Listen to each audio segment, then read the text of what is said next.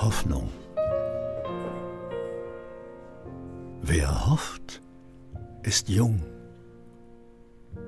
Wer könnte atmen ohne Hoffnung, dass auch in Zukunft Rosen sich öffnen? Ein Liebeswort, die Angst überlebt.